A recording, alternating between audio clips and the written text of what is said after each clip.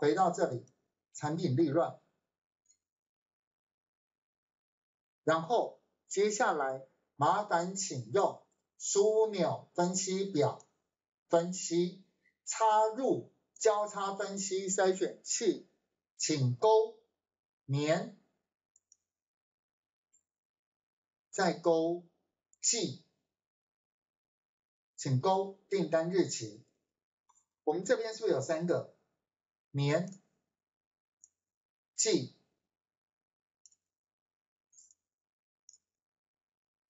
订单日期，这个叫做交叉分析筛选器。好，点选二零一六年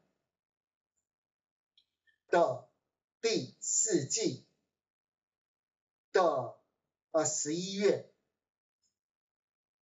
这个意思就是。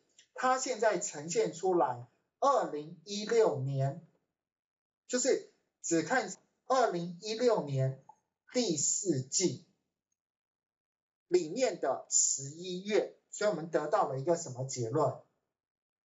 那一年的桌子出现很大的问题。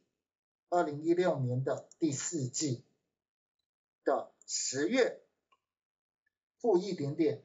十一月负六千九，十二月负三千五，我就去观察到说，哦，在不同时间它的一个桌子的表现，我这样一目了然。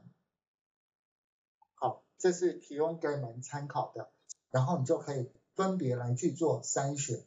当我看到二零一六年。